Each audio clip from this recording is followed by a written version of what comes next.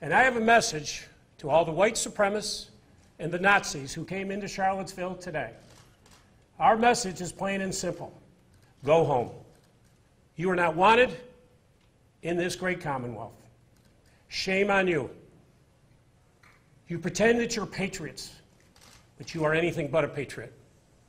You want to talk about patriots, talk about Thomas Jefferson and George Washington, who brought our country together. You think about the patriots today, the young men and women who are wearing the cloth of our country. Somewhere around the globe, they are putting their life in danger. They're patriots. You are not. You came here today to hurt people. And you did hurt people.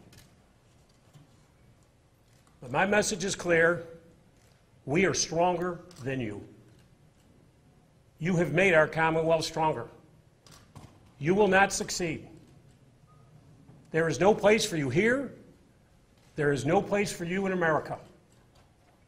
We work here today to bring people together, to unify folks. I remind you all that we are a nation of immigrants. Unless you're Native American, the first ships that came to Jamestown, Virginia in 1607.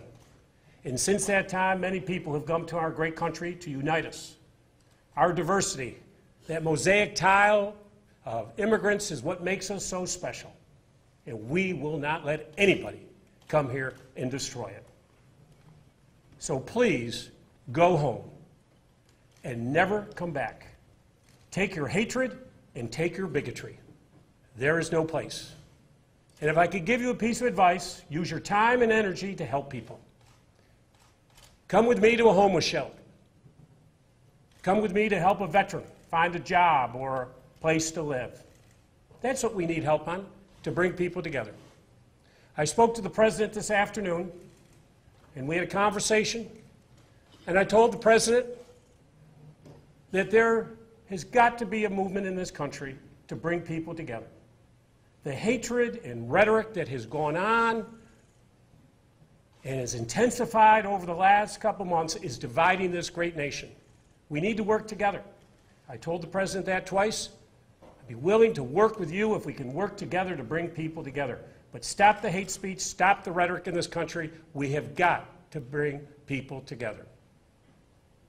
But we are a great commonwealth and we are a great nation. And we are even stronger today because of those actions of those people who came with their bigotry and hatred.